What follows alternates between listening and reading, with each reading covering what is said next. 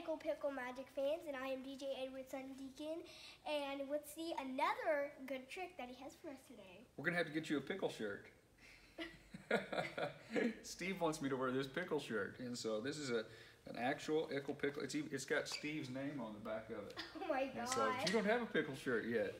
So let's check out the magic trick that we're showing. I've got a box of uh, diamond matches here, and uh, you, oh, we're we're all out of matches. All right, here, step to the side so everybody can see.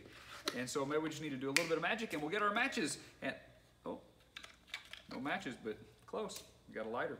Of course, you could have it full of matches, ladies and gentlemen. If you're familiar with magic, you know this is a classic drawer box. How cool to make it in the novelty of a diamond matchbox. And uh, if you're not paying attention just at a glance, looks like a real one. Grab yours today from icklepicklemagic.com and subscribe to the YouTube channel. So you can see every single one.